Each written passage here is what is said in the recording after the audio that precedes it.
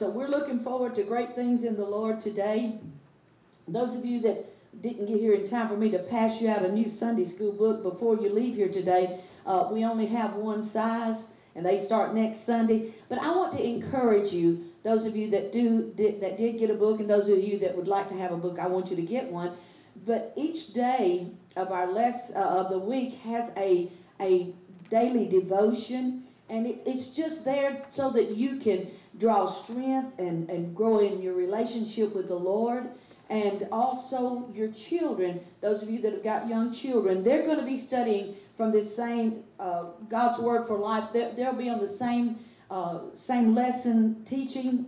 Well, they'll be on the children's level, but I'm just talking about the same lesson. And it's encouraging each family to have a daily devotion in your home, to grow closer as a family with the Word of God and prayer, and, and just just uh, uh, building that relationship with you and the Lord and your family and, and, and with them and the Lord Folks, if we ever needed to draw closer, we need to draw closer in this day and hour we're living in to the Lord. You know, uh, it's not a time to, to, to be iffy about your relationship with the Lord.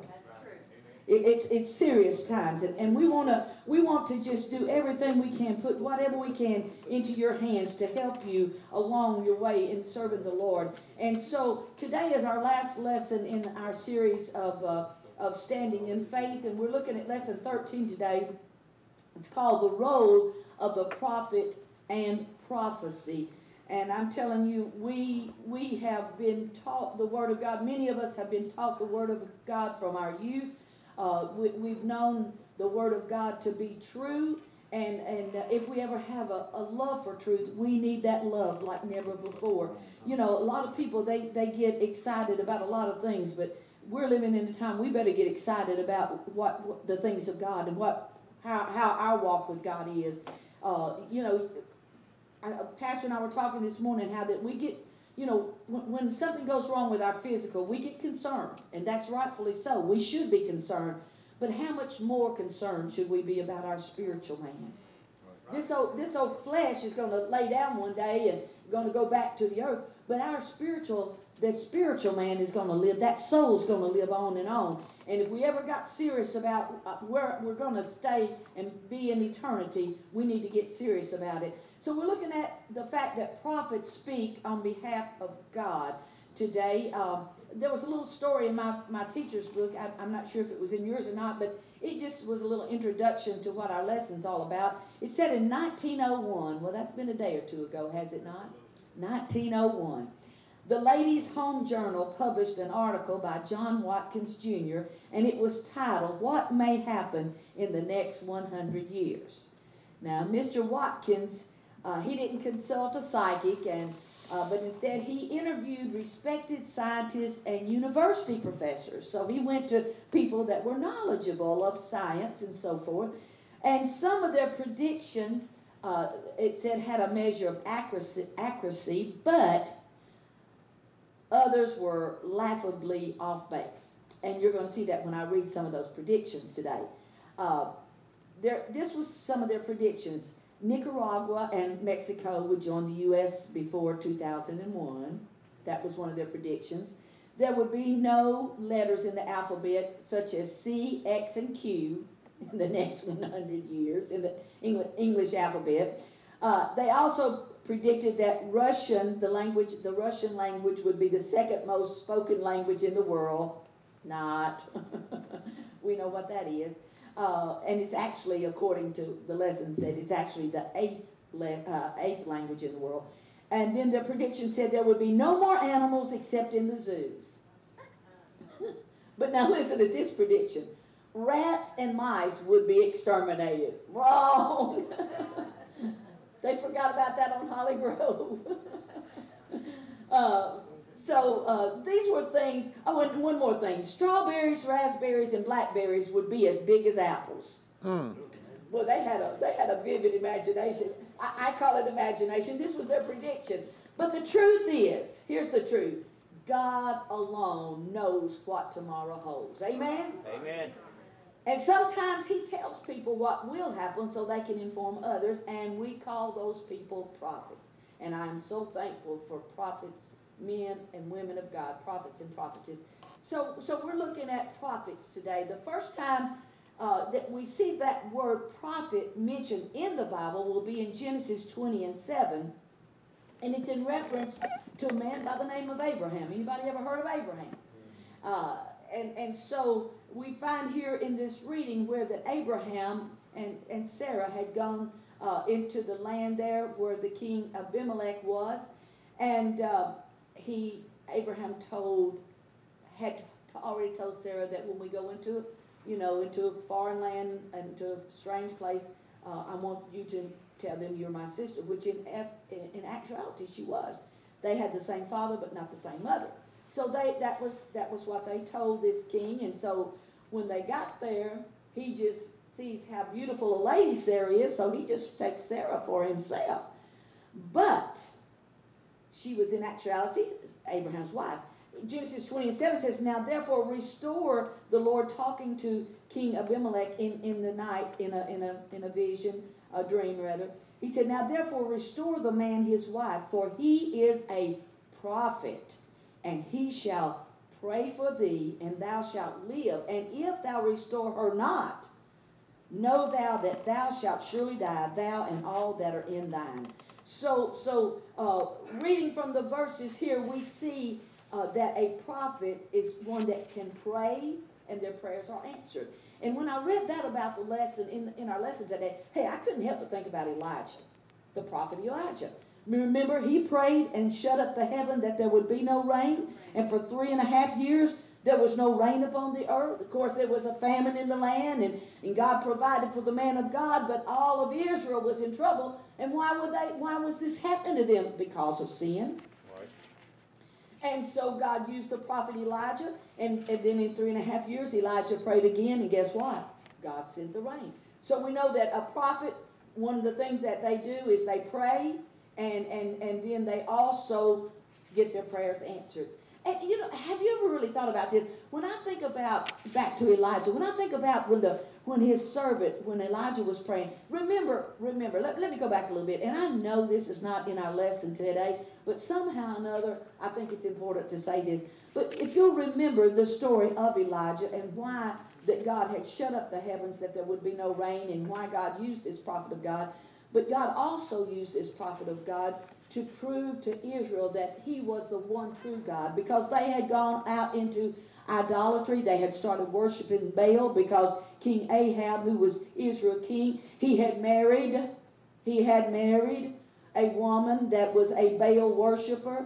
That's why, and people don't listen to us, and, and some of us didn't listen, but when, when when we were growing up in church, we were taught you you you marry someone that believes the, the the, the truth of God's word. You don't go out into the world and just marry somebody that right. you have nothing in common with. You're going to want to live for God, and they're going to want to do worldly things, and that always brings a problem. And how did I get there? I don't know. But anyway, Ahab did that. He, he went outside the, the children of Israel and he married a foreign, what we would call a foreigner, uh, someone that didn't believe in the one true God. And here she goes bringing that doctrine into him and he swallows it hook, line, and right. sinker because that's his wife and she's telling him, honey, I think we ought to be a Baal worshiper. So he becomes a Baal worshiper. But it cost the whole nation of Israel right. and God sent judgment on them because of that. And so God used the prophet Elijah and he said, let the God that answers by fire, let him be God. And so you know the story how that the prophets of Baal, they took a, a bullock and, and they began to cut that bullock and they put it on an altar and they begin to cry, Oh, Baal, hear us. Well, Baal can't hear them because he's a God they made. That's right. He had no authority. He had no power. Right. But but we know that how that they just kept calling on Baal. And, and, and Elijah, he just couldn't help himself. He just had to give them just a little bit, you know. Oh, is your God off on a journey? Or, or you know, maybe, you know, he's here, or he's there. Uh, you know, and, and, they got so upset they even cut themselves because they, they were so, uh, what can I say, so indoctrinated in false worship. You know, we're living in a world where there's so much false teaching in the land today. And so Elijah called the whole nation of Israel back to God because he, he knew the God that he served was the one true God. And of course, he said, let the God that answered by fire be God. Now, now Baal worshippers, they couldn't put no fire under the, at their altar either. But when the man of God began to rebuild the altar after the worshippers of Baal had torn apart, he began to build it up just right. He put the 12 stones in orders representing the 12 tribes of Israel. And then he dug a trench about that altar and he began to have them to pour water on the altar. Now look folks, if you're going to build a fire, you don't usually wet the wood. Right. But he was proving the fact that his God had the power to send the fire and do what needed to be done because he had that. He was the true God. And of course, after they poured four, uh, 12 barrel, barrels of water on the sacrifice, then Elijah began to pray. And remember what I said about a prophet? A prophet prays and God hears and answers a prophet prayer. And so Elijah prayed and God sent the fire down from heaven. It not only consumed the sacrifice, uh, but it burned up everything, even it licked up the water that was in the trench around the sacrifices and everything that was there. It took it took in its uh, in, in its uh, uh, it took toll upon it with the fire, the power of the fire. And what that's telling me is our God has got all power, and there's nothing my God cannot do. I don't care how difficult the situation may be. God's got a people, and God's going to honor the people that will pray and seek His face. God honored the prophet Elijah's prayer, and God sent the fire down. Jesus Christ is is the same yesterday, today, and forever. What he did for the prophets of old, he'll do for you and I today if we'll just trust in him. Amen. Amen. Amen. So, so this prophet, uh, we see Abraham was known as, as a prophet. Uh, reading from that verse, we in, in Exodus 7 uh, and 1, we're going to look at that now. Uh, in our lesson text, we're given more specific insight as to what a prophet does. Let's look at Exodus 7 and 1 says, And the Lord said unto Moses, See, I have made thee a God to Pharaoh, and Aaron thy brother shall be thy prophet.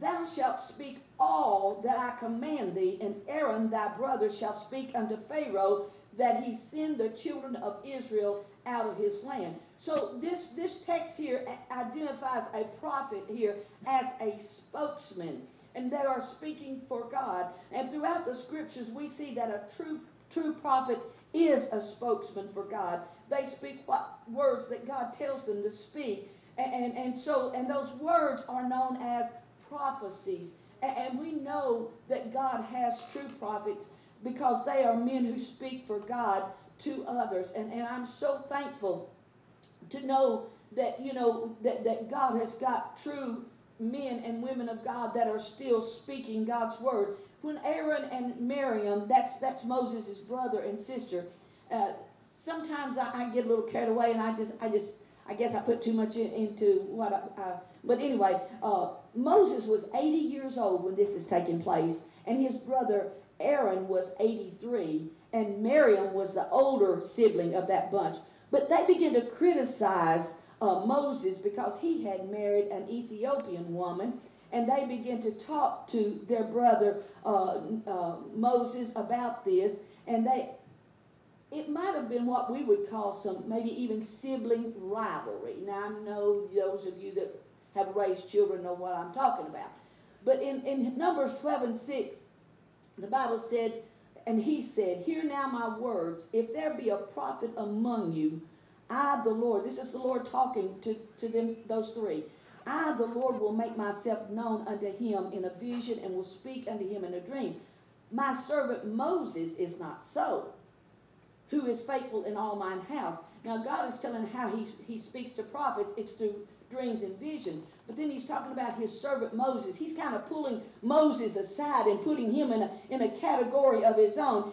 And the Lord said in verse 8, with him, talking about Moses, will I speak mouth to mouth, even apparently, and not in dark speeches. In other words, when I talk to my servant Moses, it's not going to be in visions and dreams. I'm going to speak directly to him. And the similitude of the Lord shall he behold. That word means the form. Uh, the form of the Lord shall he behold. Wherefore, then were ye not afraid to speak against my servant Moses. He's asking Miriam and, and Aaron, why were you not afraid to speak to, to my servant the way you have spoken to him? Because Moses was a spoke, spokesperson for God. And, and of course, Aaron was the spokesperson for Moses. And Moses, he spoke God's word to Aaron, and, and then he Aaron passed it on to Pharaoh. And this means that Moses was a prophet also, because if you if our scripture text says in Deuteronomy 18 and 15, the Lord thy God will raise up unto thee a prophet from the midst of thee of thy brethren, like unto me. Moses is saying this, unto him shall you hearken. He's talking about the Lord Jesus Christ, of course. And then in verse 10 of Deuteronomy 34, he said, And there arose not a prophet, talking about Moses, since in Israel like unto Moses, whom the Lord knew face to face. Not only was Moses a prophet, but God spoke again to Moses face to face. face. Right. It was common for God to speak to prophets, as I said a while ago, in dreams and visions, but to Moses, he's he when he when God spoke to him, it wasn't through a dream, but God spoke directly to him, right. and he used the word face to face. And he saw the form of the Lord. That doesn't mean that he saw God physically with his natural eyes, but when Moses asked to see God's glory, you know what the Lord told him? Yeah in, in Exodus 33 and 19, he said, I will make all my goodness to pass before thee, and I will proclaim the name of the Lord before thee, and will be gracious to whom I will be gracious, and will show mercy to whom I will show mercy. And then the Lord went on and said, Thou canst not see my face, for there shall no man see me and live. And the Lord said, Behold, there is a place by me, and thou shalt stand upon a rock, and it shall come to pass while my glory passeth by, that I will put thee in a cleft of the rock, and will cover thee with my hand while I pass by, and I will take away my hand, and thou shalt see my back parts, but my face shall not be seen. Now, this is an awesome thing that God is doing just for Moses. Right. God was allowing his servant to see his glory. And, and uh, we are told through the Word of God that God is a spirit, folks. God is a spirit in John 4 21. And because of this, he is invisible to the natural eye. But, but, but we know that because God is a spirit, you can't see a spirit, but, but we know that God manifests himself, and he did, of course, he, God was manifest in the flesh. Right. But, but let's look at Colossians 1 and 14. It says this about uh, that invisible God, in whom we have redemption, talking about Jesus, through his blood, even the forgiveness of sins, who is the image. Yeah. Now look at that. Who is the image? That means a reproduction of the form of a person or the exact image. When you uh, excuse me, the exact likeness. When you look into a mirror, what do you see? You right. see your what? Your image. Your image. And so in Colossians 1.15, he says, who is the image, talking about Jesus, of the invisible God, the firstborn of every creature. So uh, Hebrews 11 and 27 also talked about him being invisible. It says, by faith, talking about Moses, he forsook Egypt, not fearing the wrath of the king, for he endured as seeing him who is invisible. That's how Moses was able to do the things he did. Now, can I just insert this in here because the Lord seemed like was talking to me yesterday about this. Uh, Moses was able to endure the things that he did because he saw him who is invisible. You know, you know, people can talk about other people and tell you how wonderful that person is, what a what a fine man or woman they are, and how faithful a person and how talented they are. And, and they just build up your curiosity and you think, man, I'd like to I'd like to meet that person. You know, they sound like a, a wonderful person to know. But until you meet them face to face, all you know is what somebody has told you about them. That's right. And, and Moses, he had a relationship with God. It was more than just what somebody had told him. Right. By faith, the Bible said, by faith, he was able to leave Egypt, and by faith, He endured because he had that relationship. He saw him who is invisible. Folks, we have never seen the Lord, but we've got to do more than just hear what people tell us about our God. We've got to know him for ourselves. He's got to be my God. He's got to be my Savior, my Lord, my King, the one that I put my trust in, my Redeemer, my healer, my Savior, my God. Mm, we got to know Him for ourselves. We've got to see Him through spiritual eyes, the one that is invisible. Amen. Is that okay to say today? Yeah, yeah. I'm telling you, folks, I'm working on me. I am. I, I'm working on me. Yeah. What, you say, why are you working on you, Sister Creasy? You, you ought to be where you need to be, or you shouldn't be up there. Honey, I believe it's just like we are in it. We are in. We are the bride of Christ, Amen. And as the bride of Christ, we have got to keep ourselves unspotted from this world.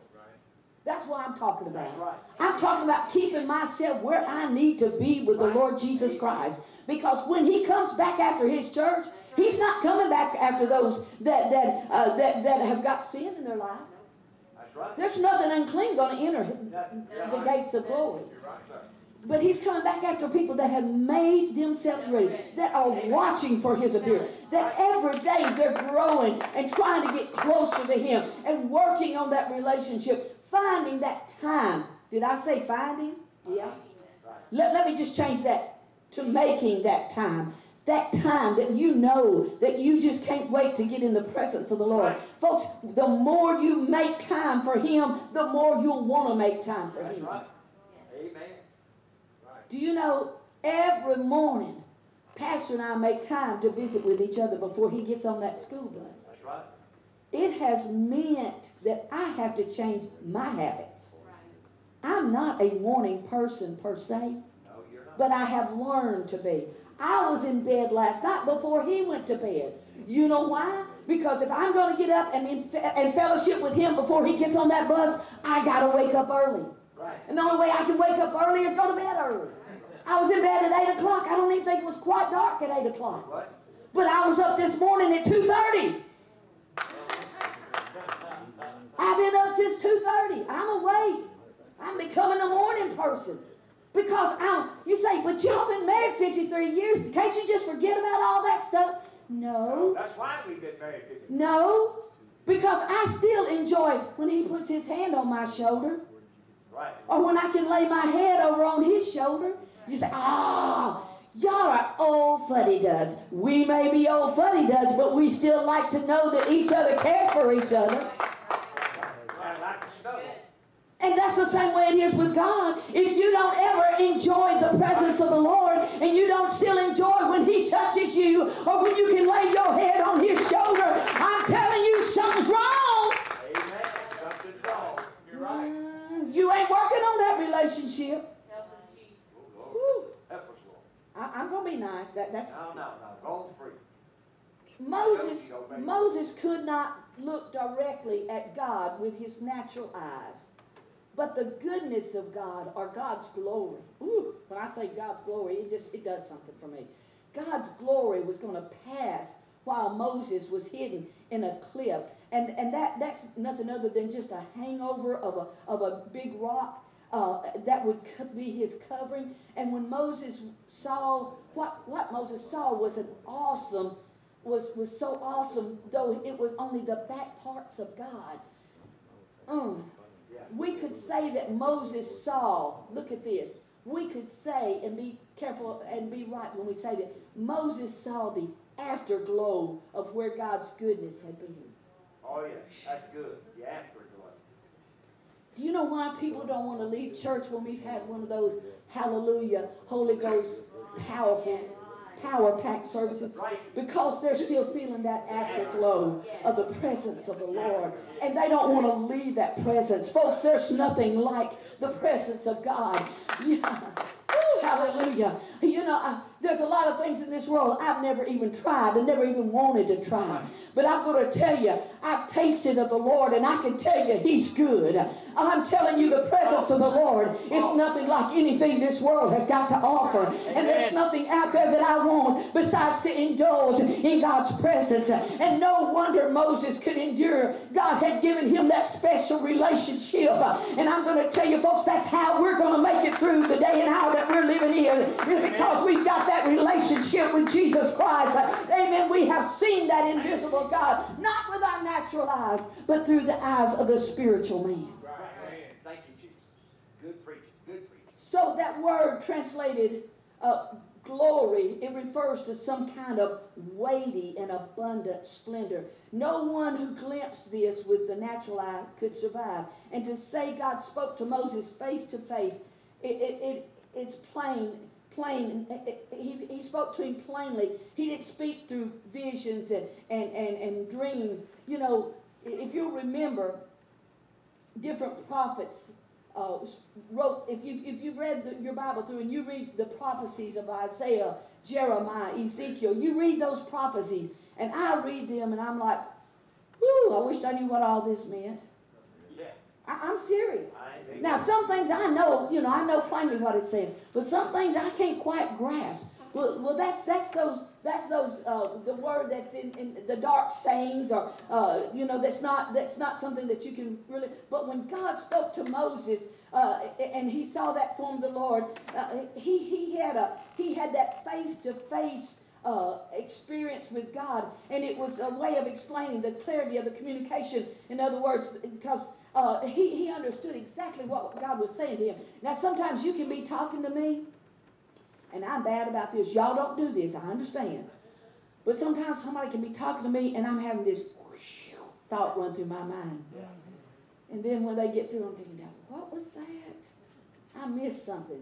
I'm bad about letting thoughts run through my mind while somebody's, because I'm not listening. But I guarantee you, Moses, when God talked to him, nothing else was on his mind but what God, he didn't want to let one word drop from what God was telling him.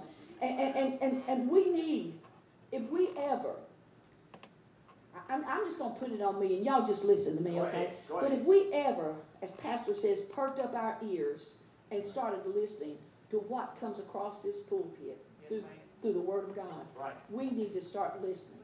And I know we're all human and we have these thoughts that run through our mind. We're thinking about, you know, I, I, I hope, my, my big thing is lately, I hope I put the garage door down.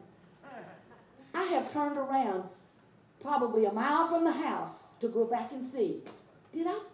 And I said, "Oh, how can anybody be? So I try to think, okay, girl, when you push the button, wait till the door comes down so you don't have to get up the road and wander. To, you know, we have these thoughts that run through our mind. But but if we ever listen to what God has got to say to us through His Word, through the man of God, we need to hear. Um, you know, you know, children play. Okay, children they, they want to have fun. They want to they want to you know be you know just have a good time and all like this. And, and I can remember in church, I remember we had this. My pastor's mother, she was kind of like the the patrol the police patrol in church. Yeah. You know, she would give you that look, and you know you better straighten up. You know. And, and then sometimes my sister, Sister Herring, she was older than me. She looked at me, you know, you know, I did that Wanda thing. I'm not doing nothing. But I, I, I can admit, as a kid in church, there was a lot of times I wasn't paying attention because there was other things on my mind. But I'm telling you, it's time we grow up in the house of God and get serious about what, what we're hearing. Because this is the saving of our soul, folks. It's not just a time to we just say, "Well, I showed up, so pastor won't be calling me wondering where I was at. I'm, I was there at church. I made my appearance." No, no, you're here for a reason, and that's that the Word of God can get embedded in our heart. Brother Mark, I got your scripture wherever you're at. I got your scripture on the sign out there. Thy word have I hid in my heart that I might not sin against thee. Folks, this word of God, when it comes across the pulpit, we got to get it down inside of us. It's not just a fairy tale, but it's what's going to keep us in the day and hour that we're Yes, living in. ma'am. We're living in perilous times, folks. Right. Amen. It's time to sound the alarm. Trouble. Amen. Yes, ma'am.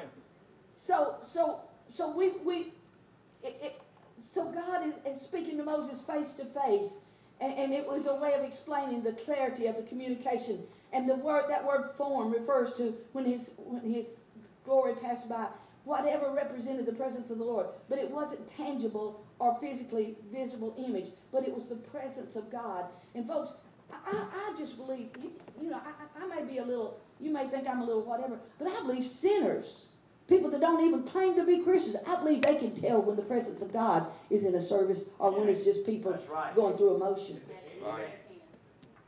If they couldn't, they'd never come to an altar and pray because it takes the Spirit of God to draw them. So one reason perhaps for this is that Moses was called to write scripture. That's, that could be why that God spoke to him face to face. Other prophets wrote as well, but uh, they, they, they, had visions and dreams, some of them, but they, they didn't fully comprehend the meaning of all that they wrote. But, but Moses was to, to put down the word of God, uh, you know, for others to read. And Paul wrote to the church at Rome about the mystery of Christ being revealed.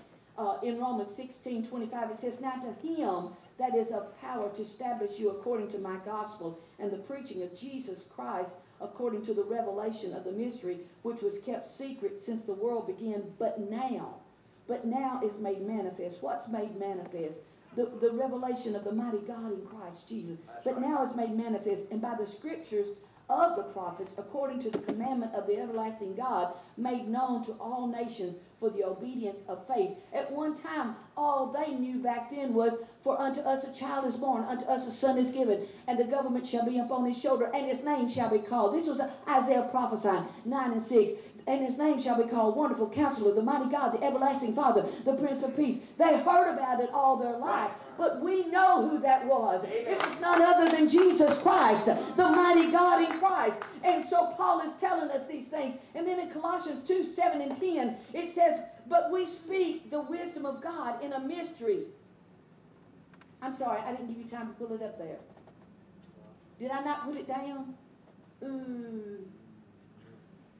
Colossians 2, 2 and 7. That's it? Okay. Okay, then guess what? I wrote it down wrong. Oh my goodness. Where's my Bible? Have a little Bible, Bible, Bible, Bible. Which one are you looking for? But we speak the wisdom of God in a mystery.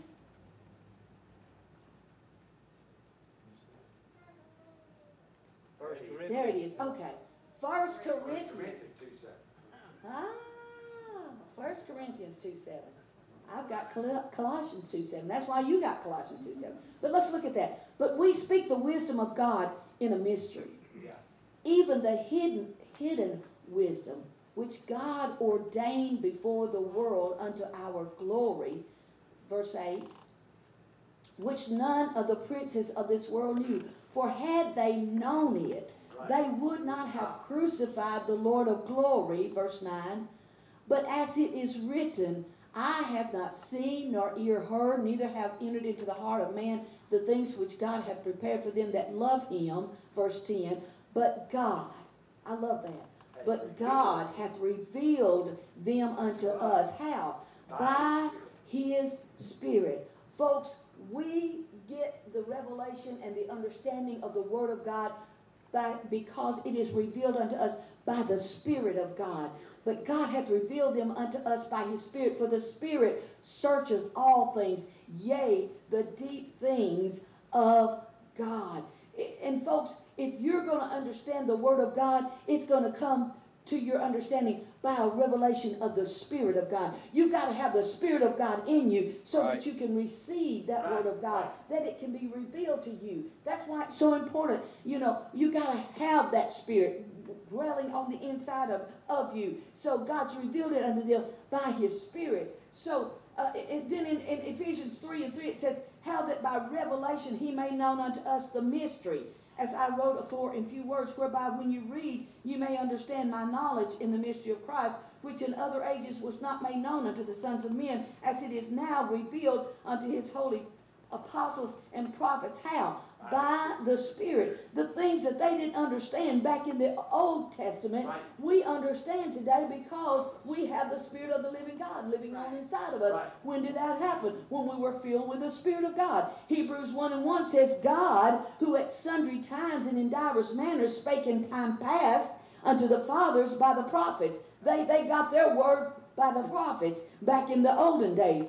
But verse 2 says, hath in these last days spoken unto us by who? By his Son, whom he hath appointed heir of all things, by whom also he made the worlds. So we see here how that God has revealed himself to us by his Son. Right. And, and so Paul, uh, Paul wrote to Timothy, I believe, is in is it 1 Timothy 3.16? Right. Great is the mystery of godliness. Without controversy. I always get that one. Forget that one. And without controversy. Great is the mystery of godliness. What is that mystery? God was what? Manifest in the flesh. How, how did that happen? Jesus Christ. When he came to this earth. Justified in the what? The Spirit. Seen of angels. Preached unto the Gentiles. Believed on in the world. Received up into glory. That is the mystery that we're talking about today. And we're talking about how that God spoke to him in olden times by the prophets, but now he speaks to us by his son, and uh, uh, whom he hath appointed heirs of all things. So, so we're learning today that a true prophet is called of God. And we see, uh, for example, we see that calling was when he called Elijah. Oh, excuse me, when he called Elisha. How did he do it? He spoke first to Elijah. God, God told Elijah, he said, Elisha, the son of Shaphat, is the one you're going to anoint to be prophet in your in your place or in your room. And then what about when he called Isaiah? Uh, God called Isaiah. You see, a, a prophet don't just say, "Well, I think I'm going to be a prophet of God." No, that ain't how it works. A prophet is a a true prophet is called of God. Uh, uh, uh, Isaiah, uh, when when God began to speak to him, what how did he respond? He said, "Here am I, send me." And and God began to tell him, "You go tell the people." uh, thus and thus and thus. And then there was the prophet Amos, uh, how he was called. He said this about himself. He said, I was no prophet, neither was I a prophet's son, but I was a herdman and a gatherer of sycamore fruit. And the Lord, the Lord took me as I followed the flock, and the Lord said unto me, Go prophesy unto my people Israel. A- And, then we see how that the Lord called Jeremiah. Uh, you, you, you can't forget how the Lord spoke to Jeremiah. He said, Before I formed thee in the belly, I knew thee. Right. And before thou camest forth out of the womb, I sanctified thee and I ordained. That means he I appointed. He said, I ordained thee a prophet unto the nation. And, and then, of course, there was Ezekiel uh, who, who saw that breathtaking vision of the glory of God, and the Spirit entered him. And the Lord said, uh, the Lord said, Son of man, I send thee to the children of Israel, to a rebellious nation that hath rebelled against me.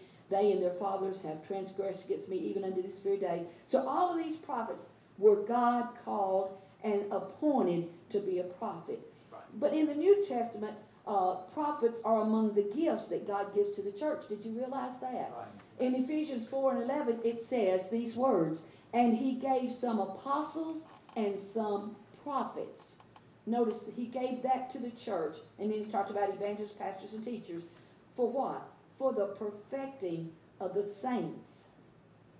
Folks, we that's why I said we've got to listen to what God is speaking to us through the men and women of God. It's for it's so that we can be perfected and also for the work of the ministry and for the edifying of the body of Christ. And that word edify means to build up.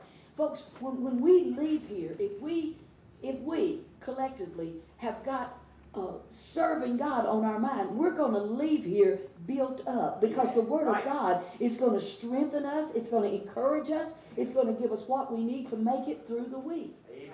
And so it comes through the ministry, through the apostles, prophets, that's the one we're focusing in on today, through evangelists, through pastors and teachers. Can I say this? Go ahead. And you may not like me anymore when I say this, and that's okay. But I'm going to tell it because I believe it's right. The Bible said that He put this fivefold ministry into the church for the perfecting of the saints, work of the ministry, edifying of the body of Christ. Do you know there's people that won't come unless their favorite preachers put in the pulpit? That's a shame, too. They're bypassing what God put into the church. That's right. He put the ministry, the fivefold ministry. Evangelists has their place. Apostles, prophets, evangelists, pastors, teachers, they all have their place. Right. But if we, we say, well, I only like Brother Creasy because he's my pastor, then we're disannulling the other ministry that God has put into the right. body right. of Christ to, to be edified and to be built up and to be taught the Word of God. We're just pushing all that away. It's just like, like some of us, if we, when I was a kid, I didn't like anything green pretty much. Turnip greens, spinach, ugh, tomatoes. But you put it on my plate today, I have an appetite for every bit of that. You don't have to, but but as a kid, I just kind of push it on, push it on back. I wouldn't even try it. It just didn't appeal to my eye. And that's what people are doing with the ministry. They're just pushing it because that's not my preacher up there. Well, you're telling it, right? Woo! Do I get a raise? Yeah. Okay. Two biscuits instead of one. Okay. So, oh, so so uh, we're looking here at 1 Corinthians 12 and 28. We're talking about how the prophets are among the gifts that God gives the church. And God has set some in the church. First, apostles. And look what secondarily, prophets. Prophets. That, that, uh, prophets. Thirdly, teachers. After that, miracles. Then gifts of healing, helps, governments, diversity of tongue. So all of these are in there that God has put in there as a gift He's given to us, the church. And so we shouldn't push aside any ministry that God has given us. Amen. There are there are also women in the ministry that perform as they do the work as a prophet does, and they are known as prophetess. That's right.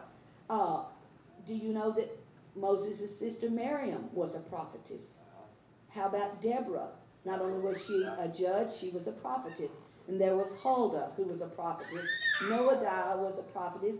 And then in Isaiah 8 and 13, Isaiah's wife was also known as a prophetess. So, so that was in the Old Testament. How about the New Testament, Sister Creasy? Are there, are there New Testament prophetess, prophetess? Look at Luke 2.36. The Bible says, And there was one Anna, a prophetess, the daughter of Phanuel, of the tribe of Aser.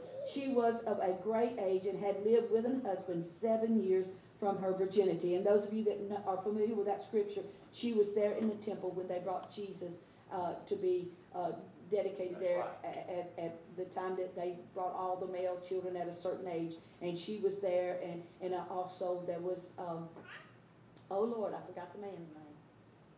Who's the, the man that said, now, uh, let the servant depart from mine eyes have seen the glory of the Lord? Was it An, An, Ananias? Simeon, No, what's the name? was it Simeon? Simeon, that's it. For some reason, it just wouldn't come through here. Uh, so Go, it's reasonable Schofield. to us to assume that all prophets and prophetesses would be gifted to prophesy, but not, look at this, but not all who prophesy are prophets. Did you know that? Here's the, here's the thing. A prophet is a person who fills a specific role in the church, but prophecy is a gift, not a person, that God gives to some people as he does the rest of the gifts of the Spirit. You'll find in Romans 12 and 6 these words, having then gifts differ, differing according to the grace that is given unto us, whether prophecy, let us prophesy according to the proportion of faith. So here we see uh, the word, the word prophes- uh, prophesying or prophecy uh, not uh, uh, attached to a prophet. And how about Philip's four daughters? That's right. Remember in, in Acts 21 and 8 it says, And the next day we that were of Paul's company departed and came unto Caesarea, and we entered into the house of Philip the evangelist, which was one of the seven, that means the seven deacons, and abode with him. And the same man had four daughters, virgins, which did prophesy. So uh, the four daughters of Philip aren't identified as prophetesses, uh, so it may be that they simply had that gift of prophecy.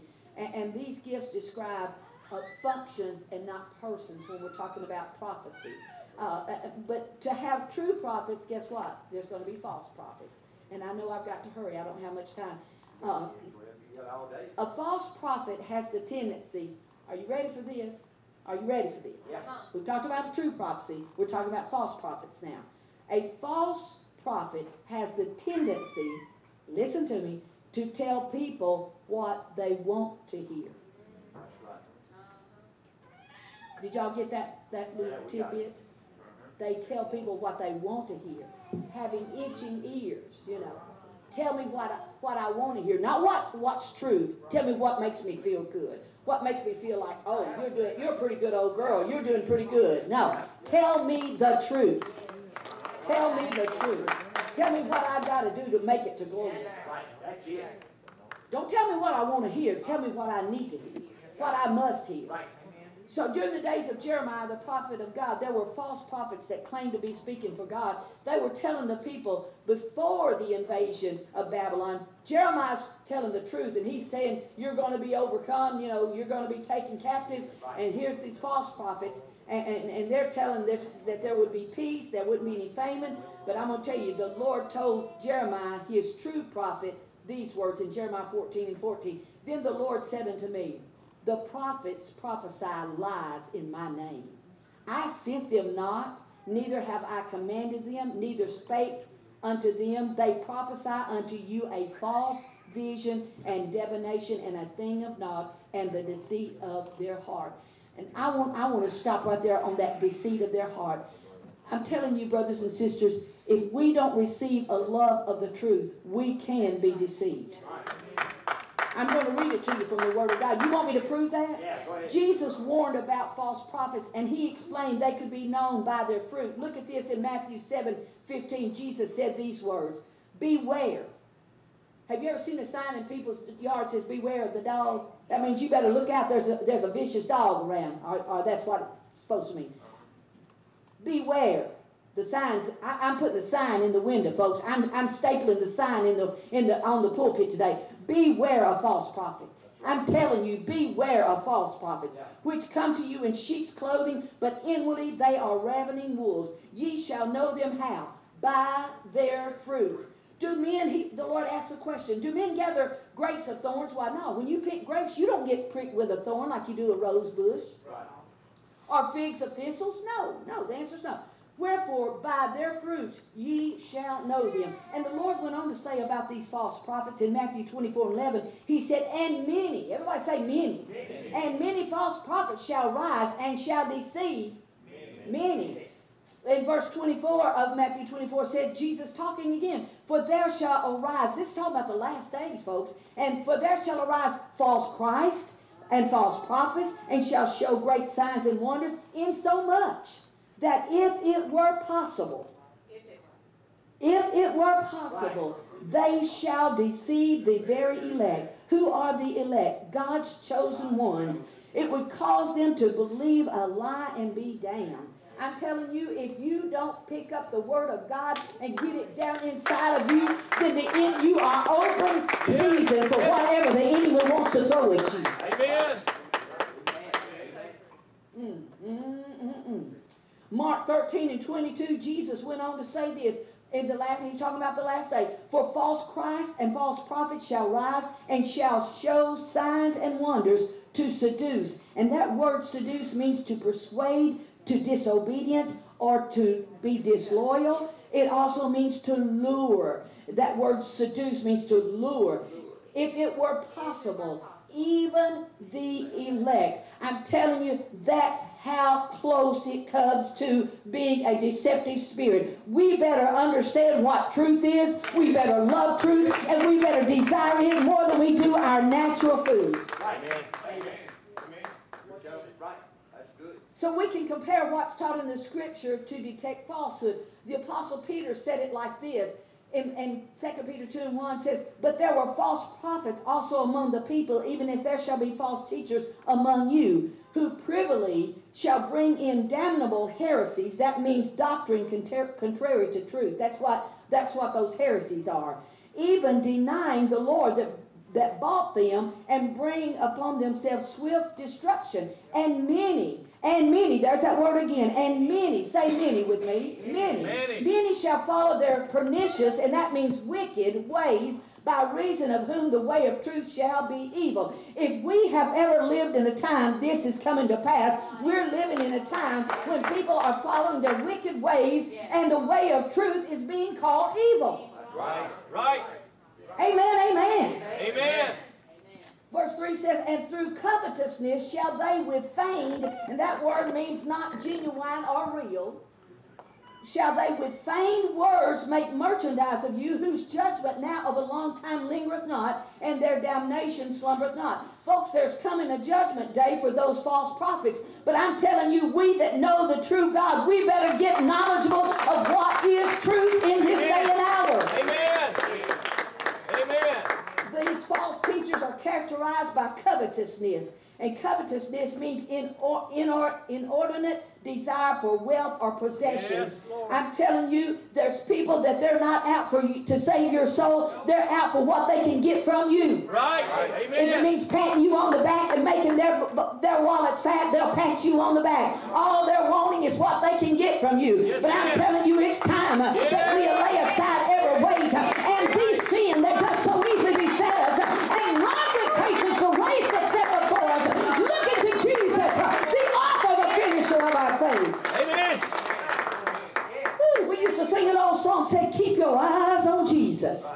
When the storms of life of trouble round you roll, keep your eyes on Jesus. Oh, and I can't even remember the rest of it. It's been so long, but I, I'm, I'm, I'm apt to sing it today, if not. Uh, we, we, got, we got to get our eyes on the right one. We got our eyes on everything that's going on in this world, and we ain't got our eyes on the one that's able to take us through this. Right.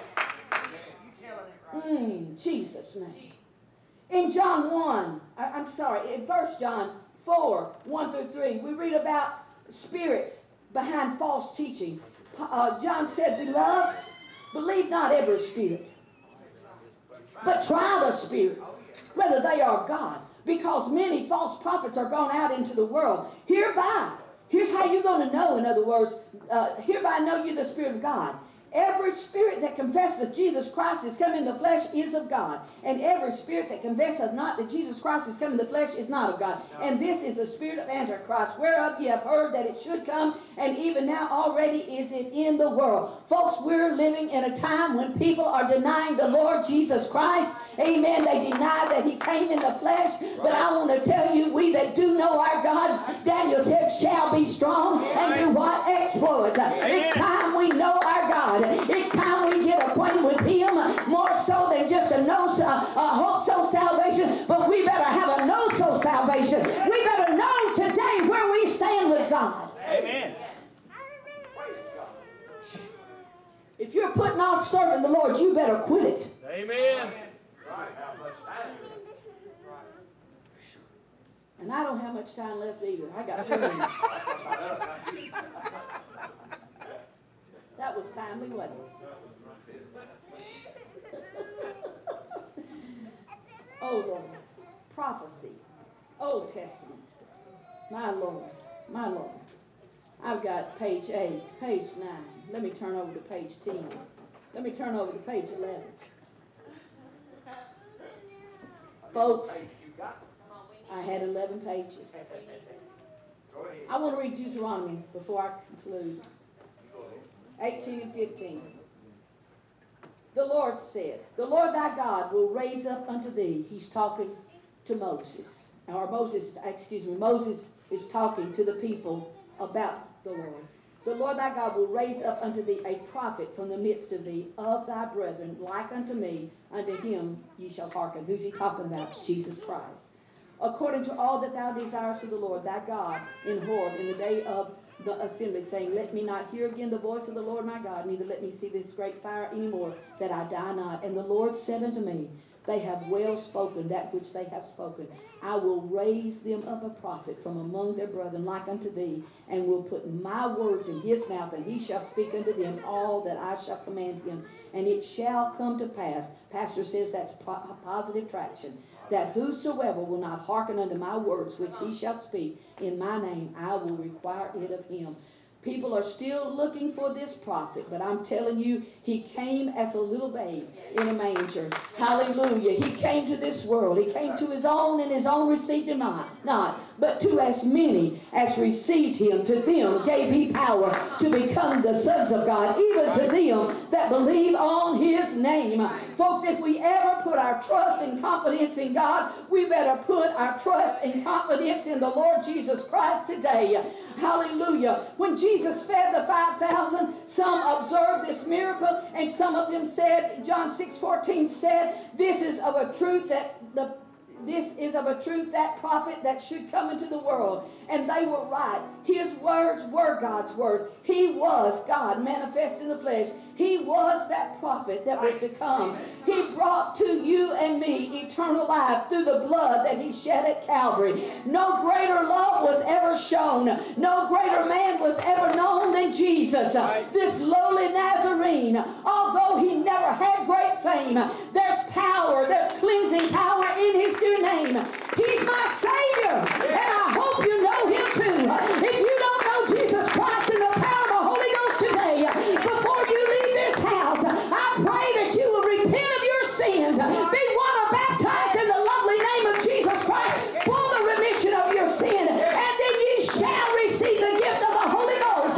For the promises unto you, to your children, and to all that are far off, even to as many as the Lord our God shall call. And with many other words did he testify and exhort, saying, Save yourself from this untoward generation. Then they that, that gladly received his word were baptized. Amen. And there were added unto the church 3,000 souls.